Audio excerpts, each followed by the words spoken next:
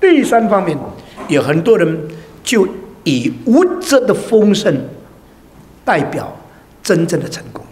说物质的丰盛，如果真正代表成功的话，那教会最后一定被奴于丰富神学、成功神学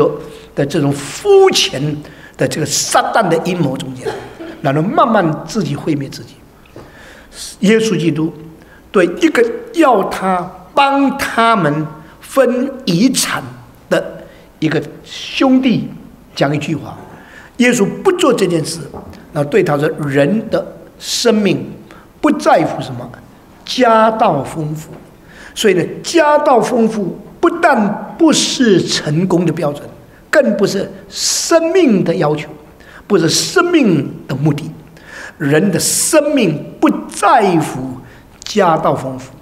今天最有钱、最富有的人，很可能是道德最贫穷的人；今天物质最丰盛的人。”可能是灵性最贫瘠的人，今天在心灵中间最空乏的人，可能他的家产万贯，是钱财无限的一个人。所以我们绝对不可以把物质的丰盛当作成功的标准。物质的丰盛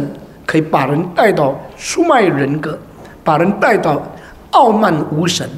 把人带到这对别人嗤之以鼻。自傲自义，很可能的、很可怜的状态中，